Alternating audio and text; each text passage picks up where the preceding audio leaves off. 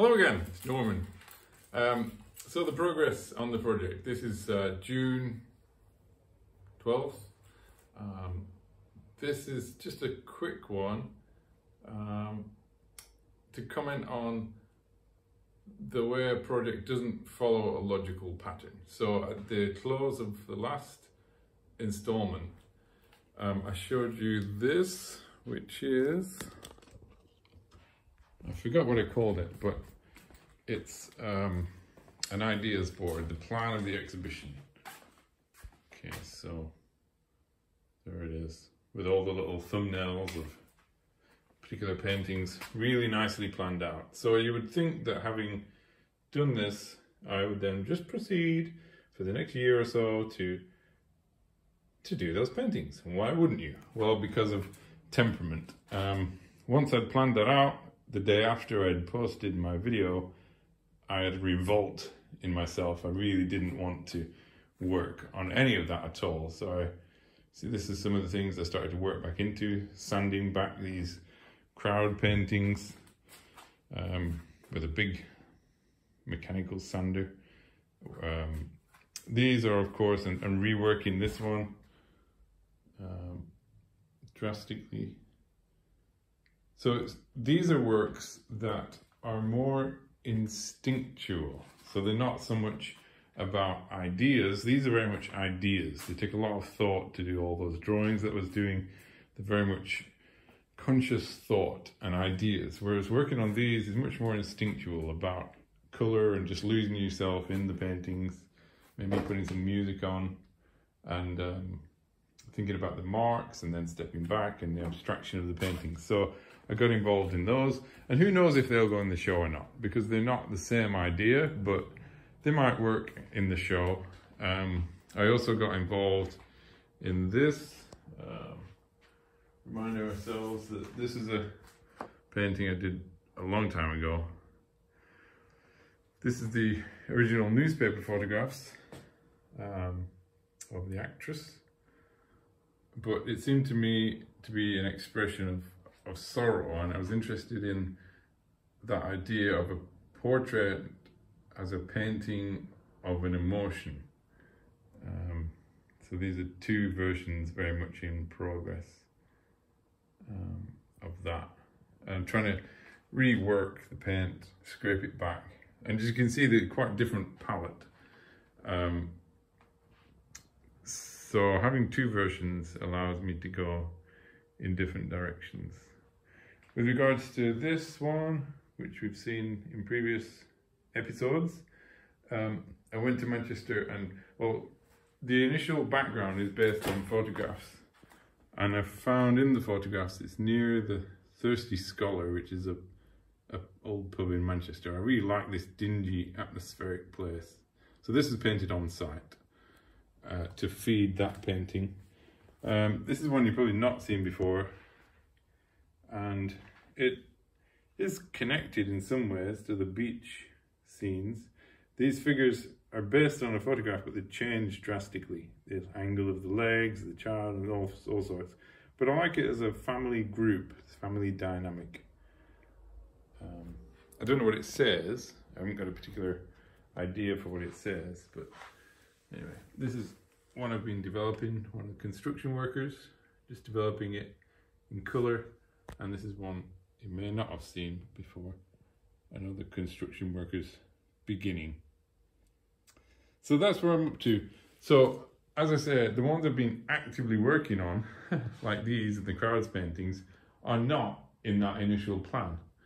Um, to me, it doesn't matter that much what I'm working on, so long as I'm working.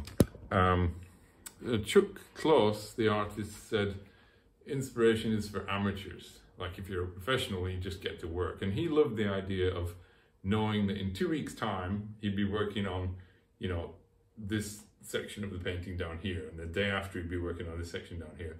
That sort of regimented production just leaves me cold and I just can't work. I very much admire it, but I just don't work like that at all.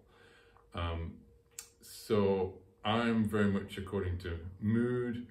Um, and I've, I've realized this from experience. Like one of my previous projects was to do large paintings, and as soon as I set myself that project, I would wow, big leap forward and start these big things, and then I'd be like, I just don't want to work on them. I'm not interested in doing that. I don't feel confident. I don't know what I'm doing. So I'd try and force myself to work on the project, and it just didn't work.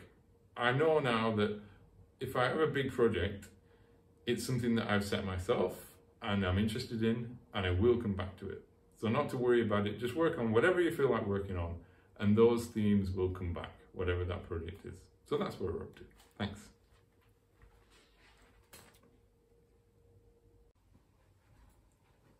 So this is an additional um, little word.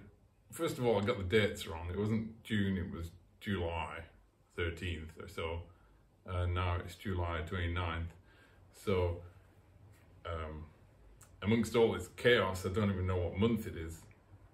Uh, I want to show you a little bit more this month, before the month's over, of some of the many things that are going on. And you'll get an idea of just how jumpy it all seems. Um, but somebody described it, um, there's a really great podcast called Art Juice, and one of the people on that described it as being like a flower. So you have the, the center of the flower, the center of the daisy, and then the petals all around. And I go off in all sorts of different areas of interest and styles and subjects, but it always comes back to me and I'm at the center. So I don't need to worry about these little journeys. I can just enjoy them and then it'll always come back to my style in the end. Um, so I'll show you a little bit more of what I've been up to.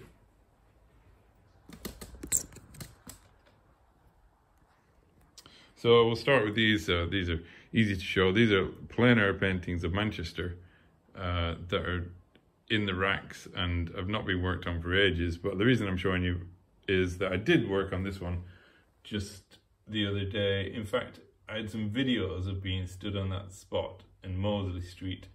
And the videos I found really helpful to work from rather than the photographs. Um, so hopefully some of these might go in the show.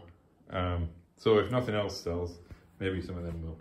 Um, this piece, um, I have a Zoom meeting with some people about spirituality and art, and after the meeting, um, this image seemed significant.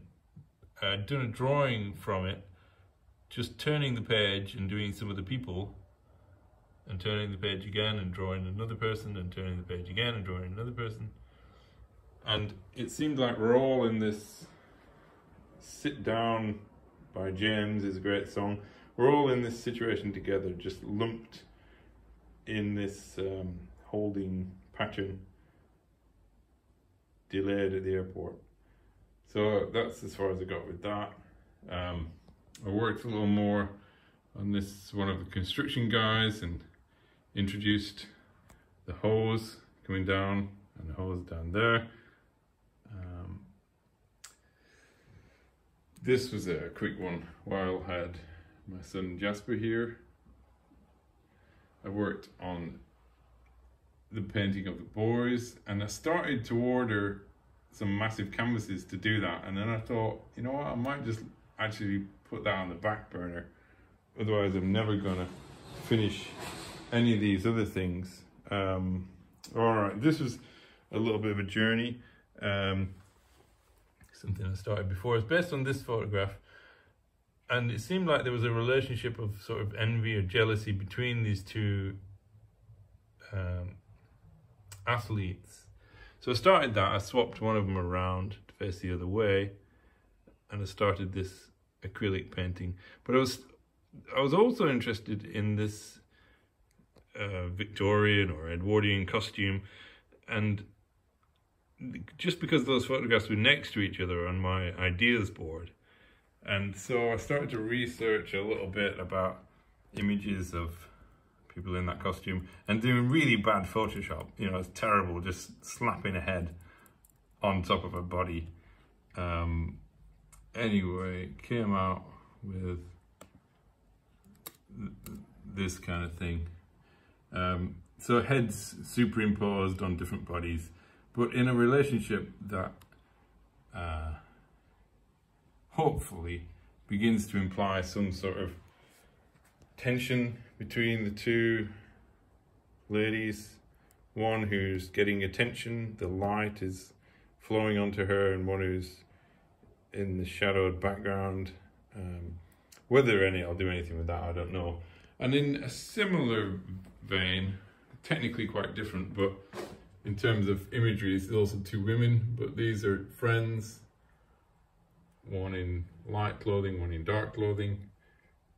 These, are, but I just love the shapes that are created, uh, the positive and negative shapes. So I started to work this on top of abstract splodges of colour of leftover paint.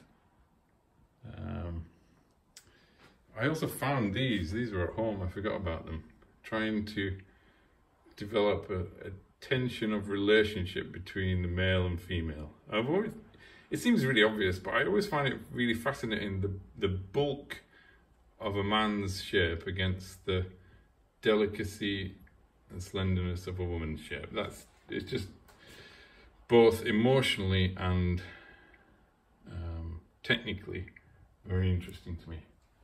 Is there anything else? Uh, I don't know. Don't think so. I think that's it. Um, so, that's what we're up to. Thanks for listening. See you next time.